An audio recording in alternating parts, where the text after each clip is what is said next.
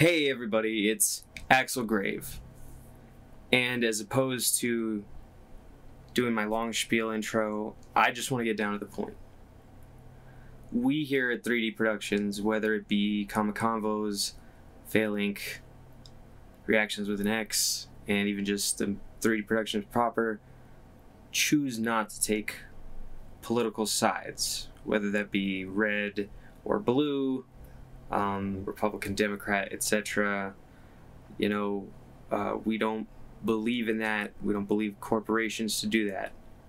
And as a company and a collection of artists and creators, we don't feel we're qualified to speak on politics in a professional manner.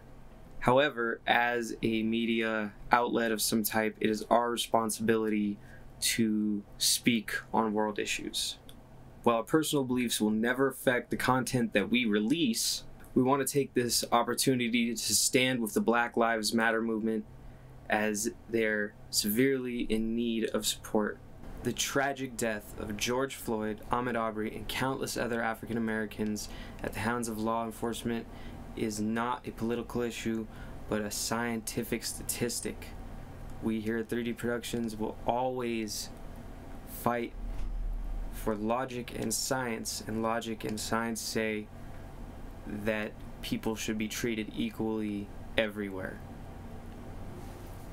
With that in mind, if this post offends you in some way, please feel free to no longer follow our media.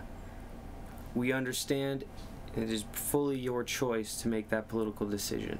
With that in mind, we are going to leave nine minutes of blank space following this in order to represent that time that George Floyd spent suffering. During these nine minutes, we highly recommend that you check in the description below where none of our links will be present and instead there will be links to support the Black Lives Matter movement, George Floyd, and other movements that help try and bring about peace, equality, and justice in America and around the world.